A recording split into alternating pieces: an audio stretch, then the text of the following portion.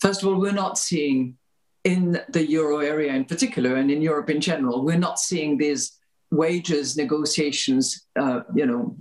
being way up. Not yet at the moment, at least. And uh, as a result of that, we are not uh,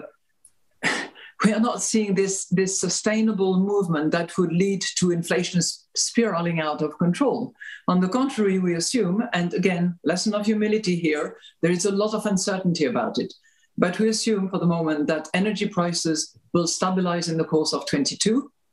uh, that those bottlenecks and those congested ports and, and, and, and drivers missing in action and all the rest of it will also stabilize in the course of 22, and that gradually those inflation numbers will decline